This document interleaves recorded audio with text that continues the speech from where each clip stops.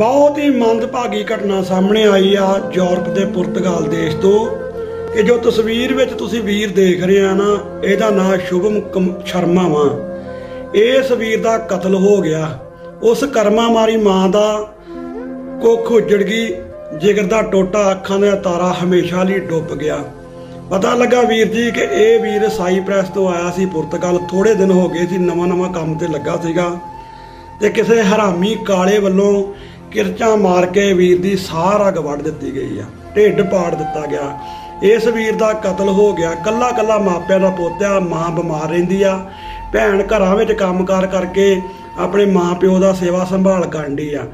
ਪੁਰਤਗਾਲ ਦੇ ਵੱਧ ਤੋਂ ਵੱਧ ਵੀਰਾਂ ਤੱਕ ਇਹ ਵੀਡੀਓ ਪਹੁੰਚਾਈ ਜਾਵੇ, ਗੁਰੂ ਘਰ ਦੀਆਂ ਕਮੇਟੀਆਂ ਤੱਕ, ਸਾਰੇ ਭੈਣ ਭਰਾਵਾਂ ਤੱਕ ਕਿ ਇਸ ਪਰਿਵਾਰ ਦੀ ਮਦਦ ਕਰਨੀ ਆ, ਗਰੀਬ ਪਰਿਵਾਰ ਆ।